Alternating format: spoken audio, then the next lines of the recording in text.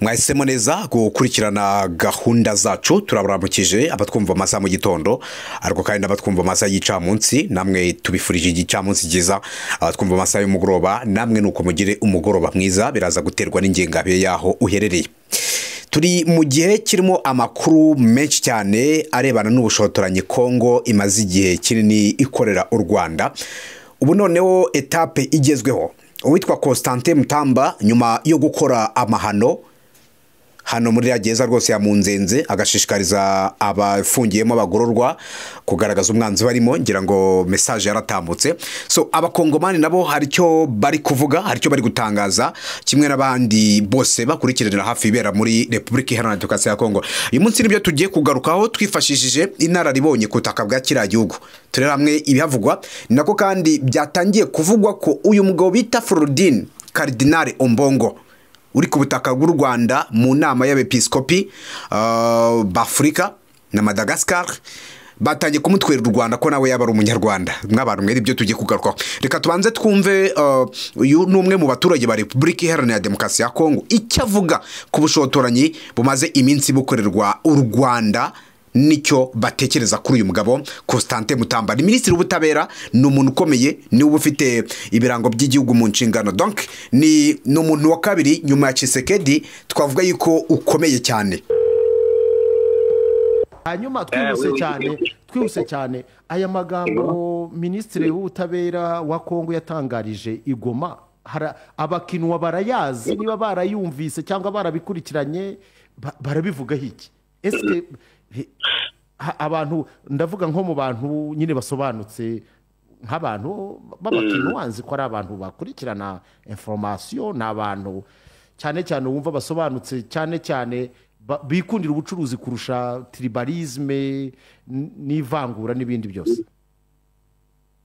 Yego yego. Bo kenshi amagambo twayumvishije ejo ejo ngena nicaye ahantu dukunda kwicara cyane sigomba kuhavuga hari nakubwiye ko hari manicaye n'abahari abantu mu gisirikare cya kongo b'abatwaye cyane cyane bavuye za bukavu abandi za esite za goma kwicara n'abantu batandukanye n'abacuruzi n'iki. Ejo numvishije ukuntu bari kubikomontaho uburyo butandukanye. Hari abavugaga ko uriya mufuka bidatangaje kuko kosta mutamba mu baminisitiri ba justice uriya umuminisitiri wa justice wa kongo aba afite icyiciro gikomeye kuko dabord aba ari minisitiri d'etat aba ari minisitiri de la justice et garde de so iyo garde de so uvuga ni presque aba ameze nka perezida wa repubulika niba ariwe ucunga ibirango uvuga kashe nka kashe ariko ni plus que kashe y'igihugu cyose ibirango by'igihugu niwe ushinzwe kubisigasira.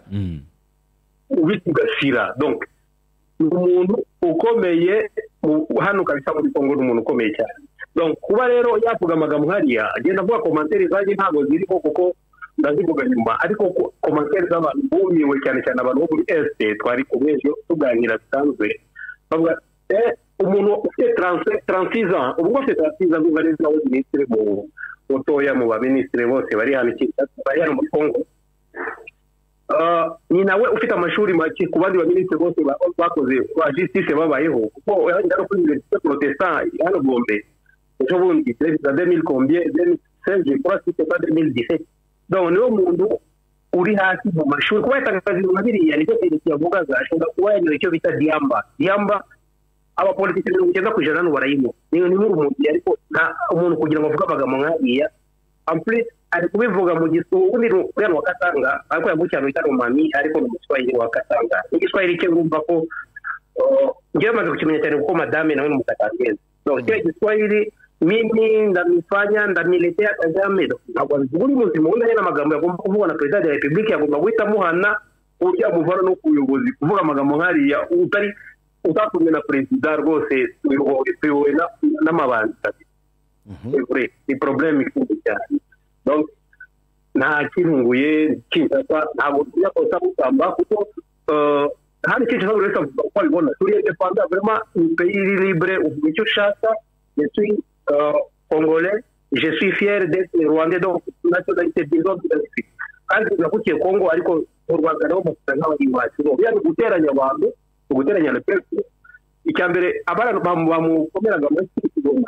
hari n'abandi batayakomaga ngewe hari n'abandi batishimaga. Ibyo avuga hariho nabonye wari uhagaze wamurebaga ukabona yasimbuka uruzitiro akamuvanamo agapfukamunwa. Ngahe nguko rero ngira ngo mwabyumvise ibyo asobanuye mu magambo make cyane kandi mu by'ukuri birimo ibisobanuro by- by- byanyuze. Ntegeza ko namwe biraza kubanyura. So anyway repubulika rero iharanira demokarasi ya kongo ni igihugu muri iyi minsi ah, gikomeje kumvikanamo byinshi kandi bitandukanye. Ariko birebana nanone ah, n'umwuka mubi hagati y'abakongomani ubwabo ah, kimwe n'abarwanira mu burasirazuba bwa kongo n'abakongomani ubwabo bari kurwana. Uretse ko wenda hi- hagezemo fdr bigahinduka hakazamo n'abanyarwanda kuko fdr kampemu n'abanyarwanda. So anyway constantin mutamba rero tukimuriho uyu mugabo uherutse kugaragaza byinshi bitandukanye uherutse gutangaza ko azatera u rwanda bagafata umukuru w'igihugu baka si ubwa mbere twumva aya magambo kuko ariko noneho kuyavugira aho yahavugiye uko yayavuze ibi byose ni byo bifite uburemere byakomeje kugenda bigarukwaho muri rusange.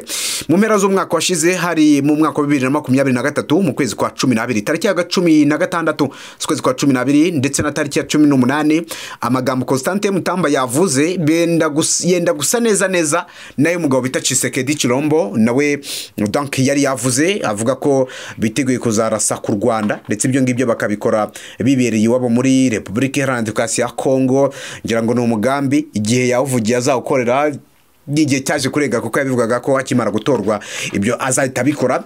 Icyakora izi mvugo ntabwo zagumye muri kongo gusa ibyo turabizi ni burundi zagezeyo ariko bo nyuma baza gucisha make. Bigaragara ko umurindi bari bafite kiriya gihe ah, donc n'uwo bafite uyu munsi ni ibintu bibiri bitandukanye ariko bitavuze ko naho haturuka umugambanyi cyangwa se umwanzi waza guhungabanya umutekano w'u rwanda muri rusange. Constantin mutamba rero minisitiri w'ubutabera ah, akaba ari n'umwe mu bantu bakomeye cyane nk'uko tubyumvise kuri uyu musesenguzi cyangwa se kuri uyu muturage wa repubulika iharanira demokarasi ya kongo ku cyumweru tariki ya makumyabiri na kane ugushyingo ni bwo uyu muminisitiri constantin mutamba yatangaje amagambo akomeye cyane ubwo yaganiraga n'imfungwa zo muri gereza ya munzenze iherereye hariya mu mujyi wa goma. Ngo twakomeje tubigarukaho mu mashusho rero yakwirakwiye ku mbuga nkoranyambaga agaragaza constantin mutamba yumvikana aburira imfungwa zo muri iriya gereza ko Ah, mu by'ukuri abazakorana na perezida kagame yise umwanzi ndetse n'umunyabyaha bazafatwa.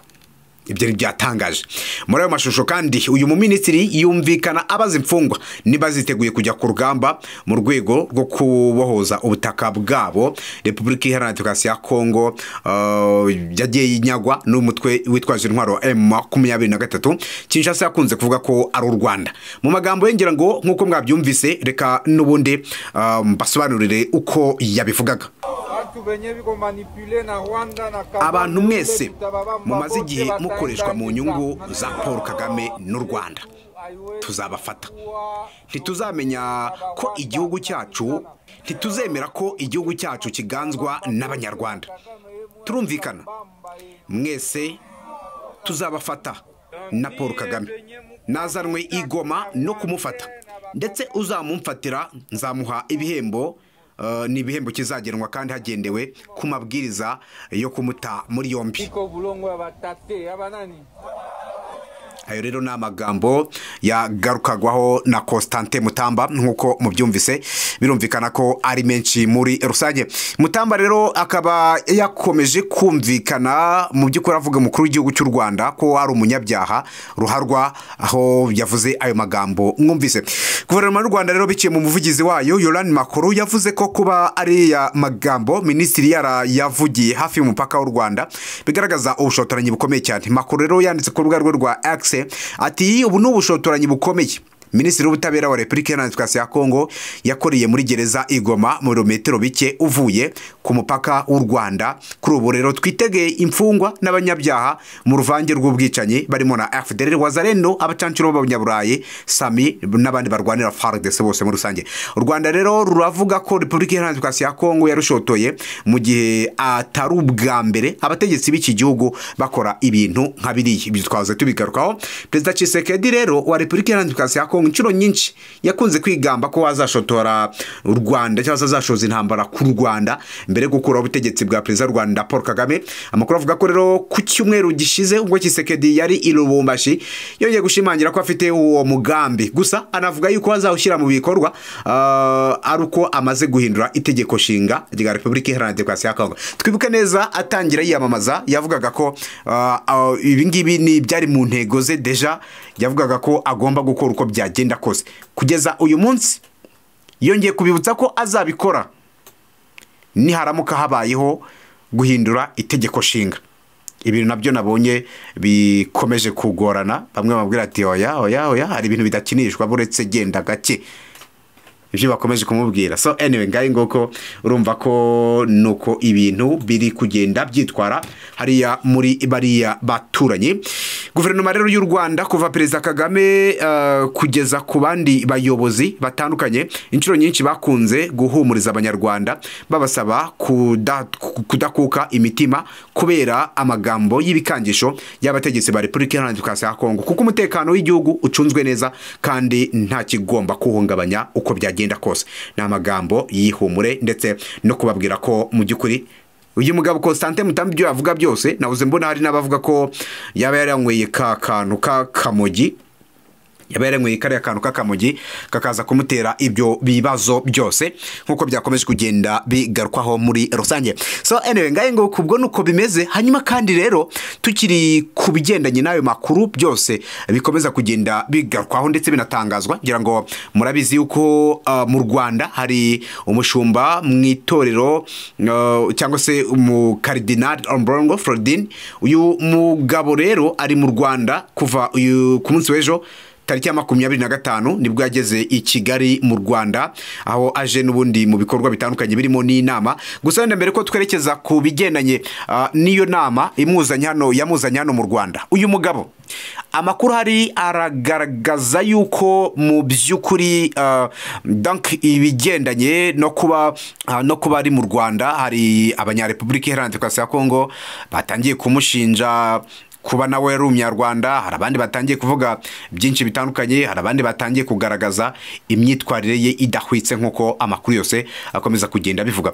Byinshi rero mu bivugwa binashimangirwa n'ababikurikiranira hafi ku butaka bwa kiriya gihugu cya repubulika iharanira demokarasi ya kongo. Bemeza neza ko uyu mugabo urugendo rwe rwo kuza mu rwanda bifite aho bihuriye nanone no kuba ari umunyarwanda. Ibyo ni ibivugwa. Ariko bidafite ishingiro. Ibyo ni ibivugwa bidafite ishingiro nk'uko bikomeza kugenda bigarukwaho n'ubundi muri rusange gatanu kuri kagenzi kako. Umbongo rero ku munsi w'ejo ni bwo yageze mu rwanda ahagana ku isaha y'isaa munani saa saba zishyira saa munani. Forodine ombongo karidinari wa arikidiyoseze ya kinshasa muri repubulika iharanira demokarasi ya kongo ari kigali aho yitabiriye inama ya komite ihoraho y'ihuriro n'ubundi ry'inama z'abapisikopi muri afurika na madagasikari mu gicamunsi rero cyo kuri uyu wa mbere hari ku munsi w'ejo tariki ya makumyabiri na gatanu gushyingo ni bwo karidinali ombongo yageze i kigali ku kibuga cy'indege mpuzamahanga cya kigali ombongo rero wakunze kudacana uwaka n'ubutegetsi bwa perezida antoine Tshisekedi yakiriwe na antoine karidinali kambanda umushumba wa arikidiyoseze ya kigali muri rusange. Inama ya ambongo inama ambongo yitabiriye ni inama rusange yari iy'ihuriro n'ubundi rizaba muri nyakanga bibiri na makumyabiri na gatanu. Mu masaha y'umugoroba rero ni bwo karidinali ombongo yakiriwe ah, mu cyubahiro na karidinali kambanda muri rusange ni mugenzi we ndetse bakaba bari no mu gitambo cya misa cyari kiri kubera kuri saint paul hano i kigali mu rwanda.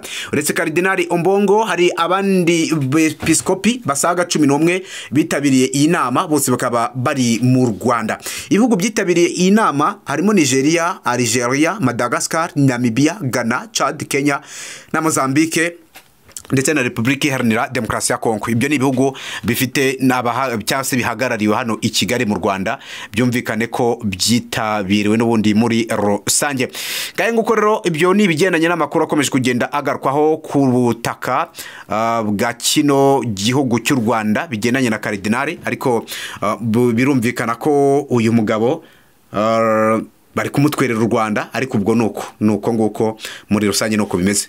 So anyway ngaho nguko ibijyanye na karidinale ombongo ubwo ni uko bimeze reka dutegereze turebe wenda uko uh, ibintu biraza gukomeza kugenda byitwara dutegereze turebe uko amakuru yose araza gukomeza kugenda ajya mbere ariko kugeza maginga ya ni uko nguko ibintu byose bikomeje kugenda byitwara muri rusange.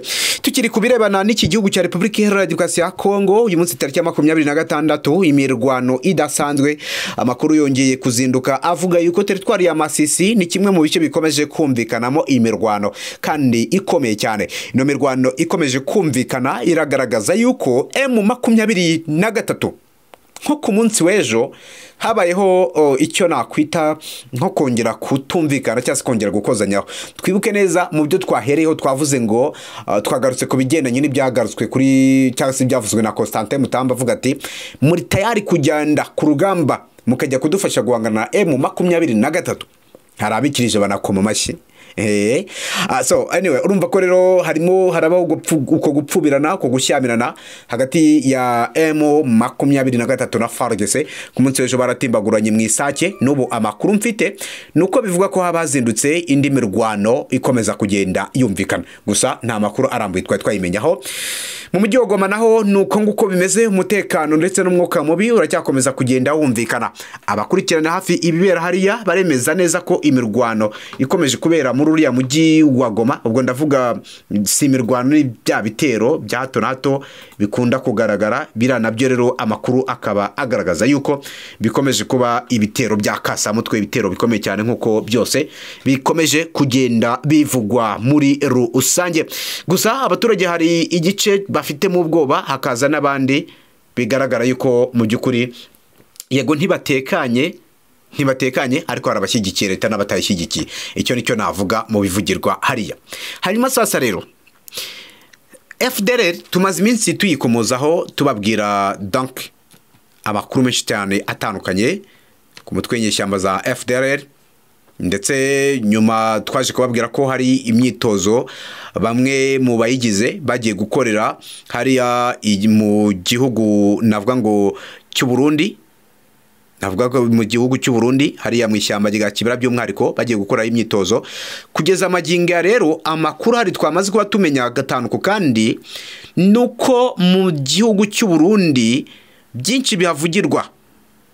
Bigendanye n'ibikorwa biri kuhakorerwa byo kuvuga ngo barwanye bakore imyitozo barwane bakore imyitozo barwane bakoreshe imbaraga zabo. Mu by'ukuri mw'abantu mwe ibintu bibera muri aba baturanyi b'abarundi ibintu bibera muri iriya shyamba rya kibira ntabwo byoroshye ntabwo byoroshye